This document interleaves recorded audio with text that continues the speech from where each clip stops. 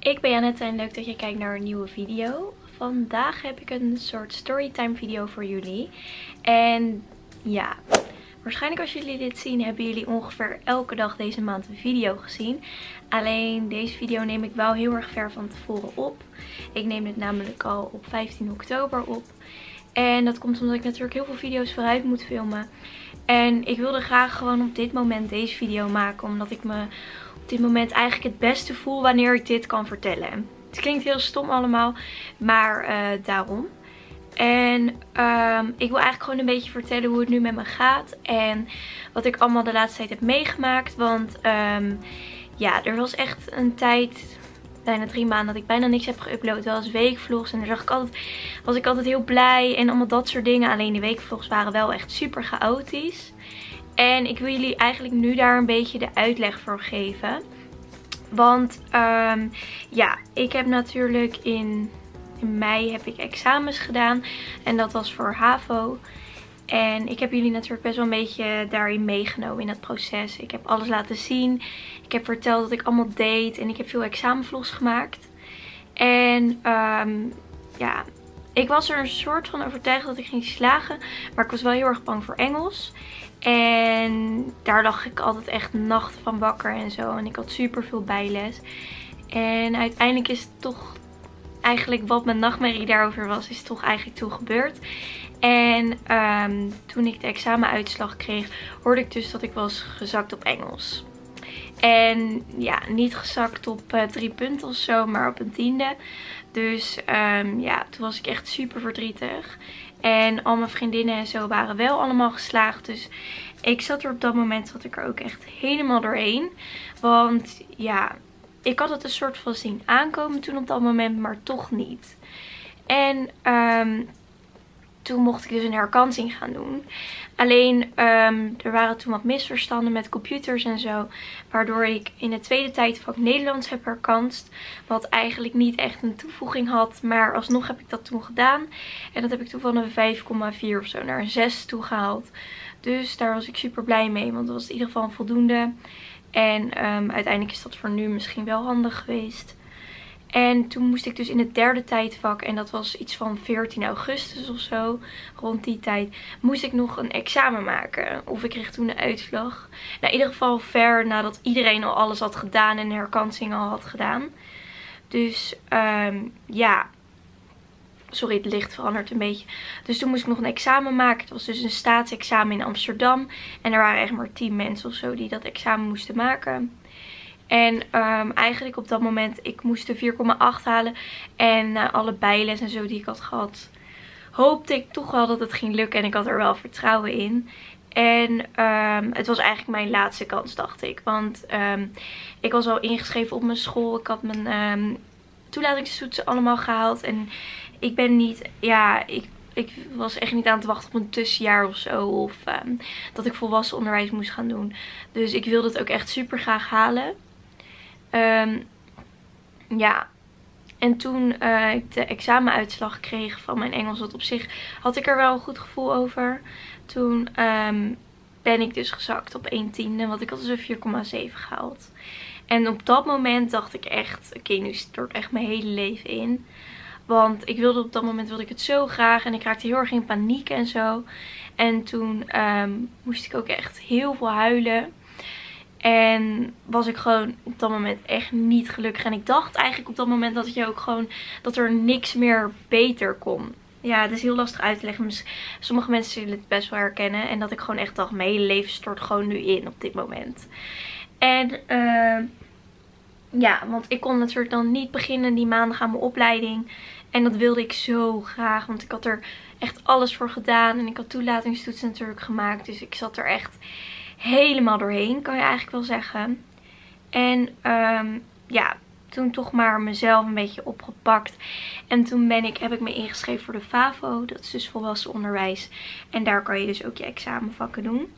En dat kwam er dus eigenlijk op neer dat ik alleen mijn Engels moest doen. Omdat de rest um, was gewoon eigenlijk prima. En dan kon ik me volledig richten op één vak. Dus toen heb ik ervoor gekozen om Engels te gaan doen. En dat was dat had ik dan op maandag anderhalf uur en op donderdag heb ik dat anderhalf uur. En ehm, ja, je zit in een klas met 30 kinderen. En ehm, het is allemaal echt een beetje één op één. En niks voor mij. Laten we het daarop houden. Um, ik dacht eerst, ze zeggen altijd dat je voor, voor, uh, voor Favo altijd echt heel erg je eigen wil moet hebben. En allemaal dat soort dingen. En dat heb ik wel. Alleen ik, ik zit er nu nog steeds. Alleen ik vind het gewoon echt niet fijn. En ik raad het ook echt niet aan. Want ja, voor mij heeft het gewoon echt niks geholpen. Ik, ik heb het gevoel dat ik helemaal niks leer. Dat ik alles zelf moet doen. Dat ik niet echt word geholpen. En um, ja, dat vind ik heel lastig. Want wanneer ik um, bijvoorbeeld vijf opdrachten moet gaan maken thuis en ik snap het niet, dan denk ik ook niet van, ja, ik kan gewoon geen Engels, dus dan laat ik het ook maar. En dan ging het echt alleen maar zo. En um, volgens mij begon het in september. Het is nu oktober en um, ja, ik krijg nu al gewoon weer heel erg de stress over... Um, over mijn examen. En ik heb het gevoel dat ik het niet ga halen. En als ik hoor iets over toetsen, raak ik al helemaal in de stress omdat ik gewoon, ik wil gewoon mijn HAVO hebben. Want ik wil volgend jaar wel echt beginnen aan het HBO. Dus ik zat er eigenlijk, zat ik er gewoon echt helemaal doorheen. En de andere dagen was ik aan het werk. Maar ik vind het werk eigenlijk toch niet super leuk of zo. En lig heel veel in bed. En eigenlijk doe ik niet heel veel. En vriendinnen en zo zitten natuurlijk allemaal op school en doen opleiding. Dus dat is best wel een beetje vervelend als je dan zelf eigenlijk helemaal niks doet. En bijvoorbeeld gisteren was ik dan de hele dag vrij. En heb ik dan eigenlijk de hele dag niks gedaan. Want er zijn bijvoorbeeld dingen die ik wel heel graag wil doen. Zoals bijvoorbeeld mijn autotheorie halen. Of mijn, ah, gewoon mijn rijbewijs. Maar ik heb gewoon geen zin of zo om iets te doen. En het klinkt heel stom. Want ik heb echt super veel tijd. Maar ik heb gewoon niet echt ja, gewoon de motivatie daarvoor. En ik hou er van een soort van ritme in hebben. Dus bijvoorbeeld elke dag naar school te gaan. En ook gewoon een soort planning te hebben. En dat heb ik niet. En um, ik heb achter de kassa gewerkt. En um, weet je, er is echt helemaal niks mis mee. Maar het is niks voor mij om dat elke dag te doen. En ik zat nu eigenlijk een paar dagen geleden echt op een punt dat ik er echt helemaal doorheen zat. Omdat ik gewoon echt het gevoel heb dat ik een soort van nutteloos ben en niks doe. En dat is gewoon heel erg vervelend. En toen dacht ik, ja, dan ga ik heel veel YouTube video's maken. Maar um, daar had ik dus eigenlijk ook helemaal geen zin in. Oké, er kwam net iemand thuis, dus ik weet niet waar ik was. Maar het kwam er eigenlijk op neer dat ik er helemaal doorheen zat. En um, dat ik eigenlijk gewoon echt niet wist wat ik de hele dag moest doen. En dat klinkt allemaal heel zielig. En ik vond mezelf ook echt super zielig. Maar um, ja, maar ik raad het daarom ook echt niet aan om een tussenjaar te nemen als je geen plan hebt. Kijk, weet je, als je naar het buitenland gaat of een leuk idee moet je dat zeker doen. Maar je moet het echt niet gaan doen om een soort van rust of zo te nemen. Want echt waar, je gaat je echt kapot vervelen. En ik raak er zelf gewoon echt helemaal gewoon een beetje een soort van depressief van. Ja, dat is eigenlijk echt heel erg vervelend. Dus um, ja, ik wilde eigenlijk nu deelde ik naar een andere school toe. Omdat ik gewoon het gevoel heb dat ik het anders niet ga halen. En dat ik er helemaal doorheen zit. Dus ik heb morgen eindelijk gesprek op een nieuwe school. Namelijk op het Luzak College. Voor de mensen die niet weten wat dat is. Het is een soort van privéschool. En het slagingspercentage is daar veel hoger. Dus ik hoop dat ik daar beter word geholpen. En dan um, daar heb je ook veel meer structuur en zo. En dat vind ik gewoon zelf echt veel fijner. Dus um, ja, dat wil ik dan eigenlijk gaan doen. Voor de rest, als het goed is, heb ik nu hiervoor heel veel video's gemaakt. En um, daar ben ik nu ook druk mee bezig. Want zo ben ik toch eigenlijk een beetje actief. En dan ga ik mezelf opmaken. En dan voel ik mezelf ook sowieso veel chiller. En ik heb natuurlijk wel gewoon sowieso super lieve vriendinnen. Waar ik altijd echt bij terecht kan en zo.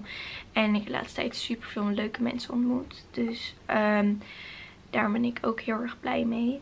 Dus dat maakt me wel gelukkig. Alleen het is toch vervelend. Want ja, ik vind mezelf bijvoorbeeld, het klinkt allemaal heel stom hoor. Als ik dan, um, als ik dan aan mijn opleiding begin ben ik 19 jaar. Terwijl ik ook bijvoorbeeld 17 had kunnen zijn, weet je wel. En dan denk ik, oh dat vind ik zo zonde. Terwijl ik eigenlijk gewoon van dit jaar een heel leuk jaar moet maken. En ik heb natuurlijk, kan wel heel veel geld gaan verdienen en allemaal dat soort dingen. Maar ik zit gewoon veel liever op school. En heb liever structuur. Dus ja, ik was echt, ik zat er helemaal doorheen. En ik was echt niet meer gemotiveerd. Maar ja, ik wil toch ja, iedereen meegeven dat je gewoon echt... Doe echt je best op school. En houd het gewoon vol. Want het lijkt heel chill allemaal een tussenjaar. Maar Als je niks hebt te doen en je bent toch een jaar weg. Als ik straks weer wil beginnen, ben ik een jaar ertussen uit geweest. En dat is echt heel erg vervelend. En ehm, ik heb nu ook de dagen en zo. Die gaan voor, gewoon voorbij. Maar je doet eigenlijk gewoon simpelweg helemaal niks of niks nuttigs. En ik heb nu gewoon alles opgeschreven in een boekje van ideeën wat ik ook wil gaan doen. En um, dit is dan van deze maand. Dus als je nog leuke video ideeën hebt, moet je dat ook even nog achterlaten. Dus ik heb natuurlijk nu al heel veel video's uitgewerkt. En ik heb dus nu ook een soort plan van dingen die ik echt wil bereiken en wil gaan halen. Net zoals bijvoorbeeld mijn praktijk. Want um, als ik het opschrijf, dan ga ik het toch denk ik eerder doen.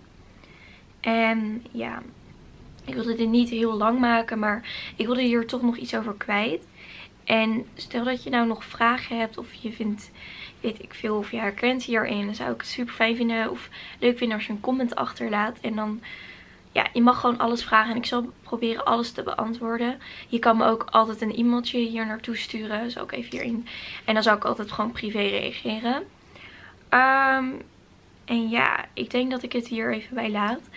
Ik hoop dat jullie toch een leuke video vonden. Doe dan zeker ook een blauw duimpje omhoog. En ik hoop dat jullie de andere video's ook leuk vinden.